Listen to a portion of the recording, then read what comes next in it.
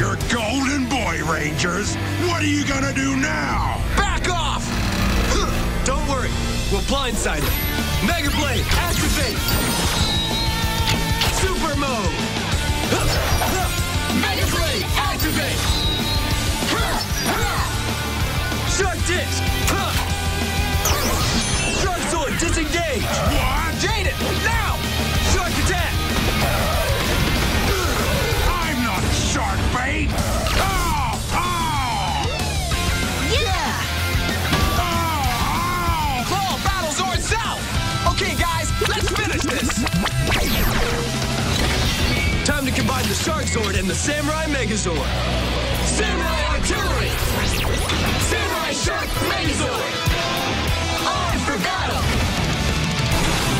Isn't good.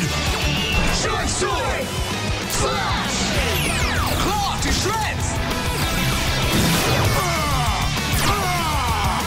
We got him!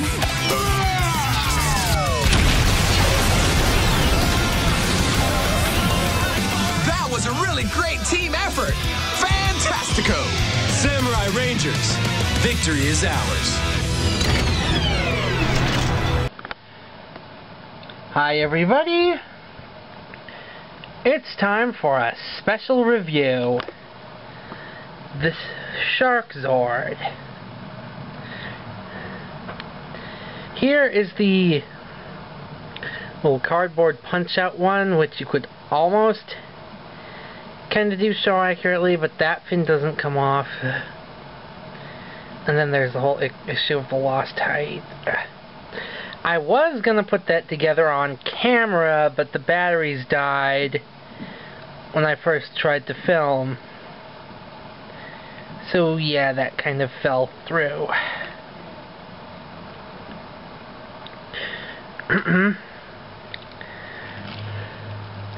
Main Zord itself has central symmetrical riding pegs and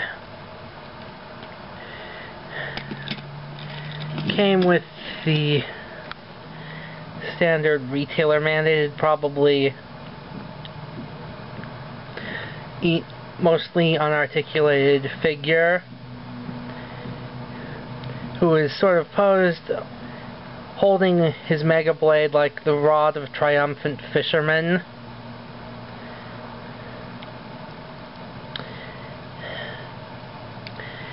and he was the first to have the molded head under the helmet that was introduced along with the punch out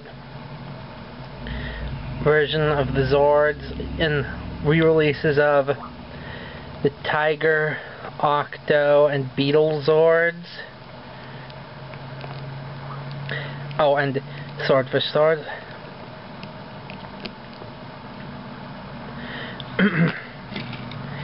Here's the Zord itself. Although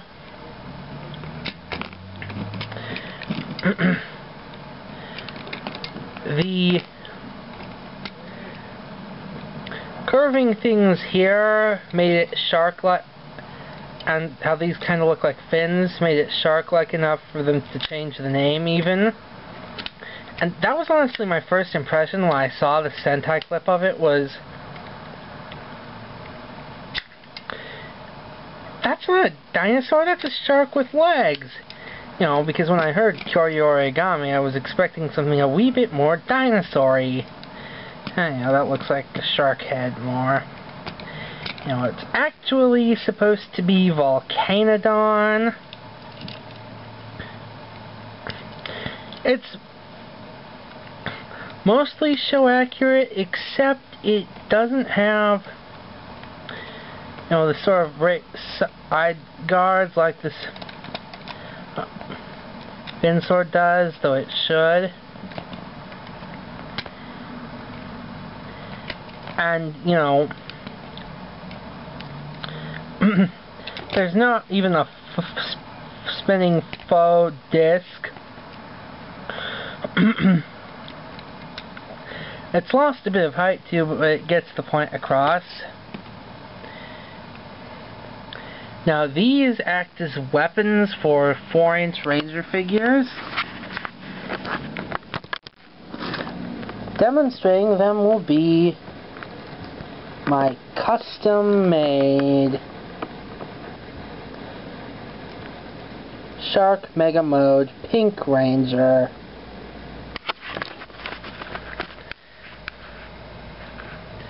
They're not too bad, kind of cool swords. I like how this removable dorsal fin kind of gives vibes of the classic lightning bolt. You know, the classic Power Rangers lightning bolt. Yeah. And now I'm going to put them back on for now. Uh, you know, it does this, it pops out. Which actually does kind of mimic the show gimmick of it being able to extend. Although obviously that's a bit annoying as a toy thing because that relies on CGI cheatery. Well, you could have done rubber and had sort of a spool inside on the roleplay version. You know, have it on a spool like those portable lines. But no, even the bloody Kyoryu origami toy which kind of failed as a Zord due to its roleplay size making it too big for Shinken O to wield. But anyway, they added these Zord Builder plugs on here to give it a bit more functionality. This is why I put the fins back on. And yeah, I've customized my swordfish pretty heavily.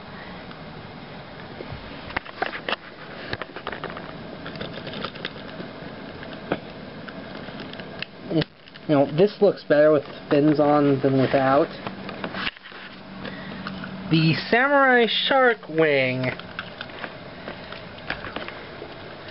Which actually looks pretty cool. And now we've got nose length. You know, every side has a full, complete long nose. And it honestly looks kind of cool. It can't link up with the Megazord, of course. Would have been nice if they'd put in some pegs, well, tabs for that. But, eh, yeah.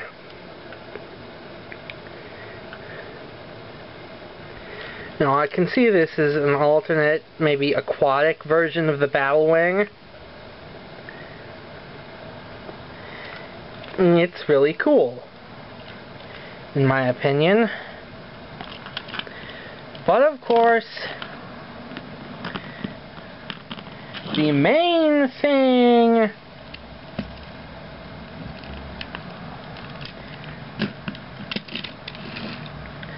of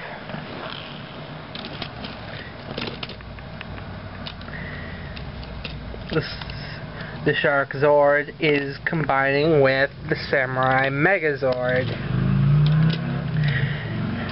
Which, by the way, it kind of does backwards compared to with Kyoryu Shinken O. But on the other hand, the way that Kyoryu Maru and Kyoryu Origami Sword are held like this is kind of backwards-ish. You've got the curved cutting edge of the blade on this side instead of the swinging side and all. Yeah. Now, they could have made it accurate if instead of a flip-out handle, they had gone to one that, you know, you pull this off and there's a handle fits into the Megazord hand beneath that. Anyway, you pull off the front legs.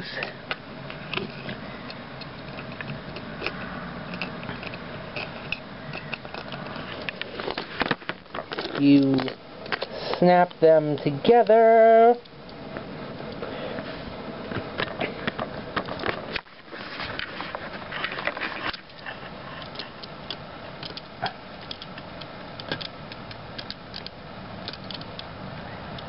it might not look like that, but that is nicely tabbed to the top of the head. And then extending it if you wish to give a longer blade. Voila! The Samurai Shark Megazord. I really like this combo, and this definitely has one of the neater answers to the what becomes with the non-helmet portion. You know, the answer? Simple. The entire rest of the Zord's body is a huge-ass sword for the thing to wield. And, um, you know, damn it, my ha turtle hand is loose a bit. Know, wield it indeed can.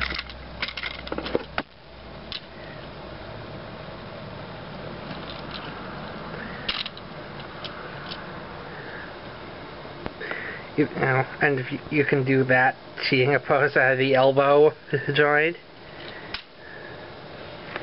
But yeah, that is pretty damn cool. And I recommend the Shark Zord. In point of fact, you'd probably have to trim this handle down to make it work, but you might actually be able to use this with Shinken O. Okay, now for the second part of this, you know, this was spoiler warning. Used to finish off Serrator, the Gigazord combines with the Shark Zord.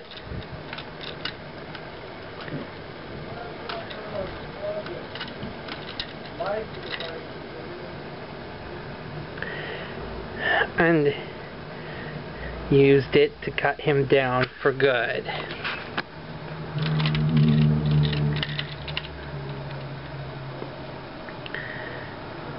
Ultimate Samurai Slash! Oh, wait, I forgot to do something first.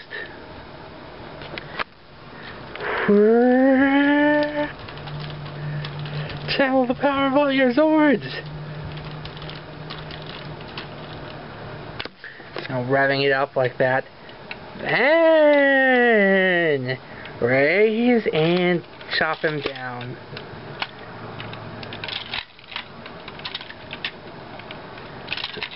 Sorry, I just have a lot of fun doing that. And by the way, for accuracy, you do not put the two legs that make the helmet back on the Gigazord. You don't.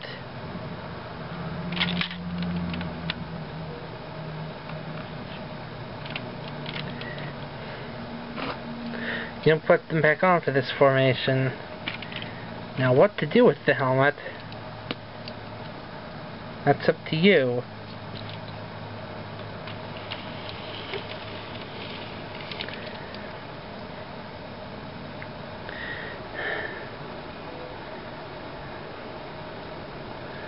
There's some places you could interesting loose fit it, I suppose. But,